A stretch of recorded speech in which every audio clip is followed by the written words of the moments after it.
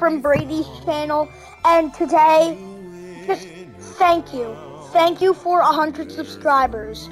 I have worked so hard to get this. When I started my YouTube channel, I didn't even think I was going to get 100. I didn't even think I was going to get like 50. But we made it all the way. I've been doing videos for two years now, I think, maybe. Maybe one year. I don't remember. But all I can say is thank you for 100 subscribers. Now my friend here, Northern Tulip, aka Brody, can get finally can get a YouTube channel. I'll tell you that um, when it actually comes out. But thank you guys so much.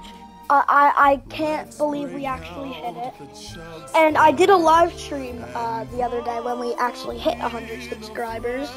So thank you every single subscriber from my first one to my 100th one. And I think we're uh, the next milestone we're gonna get is 200.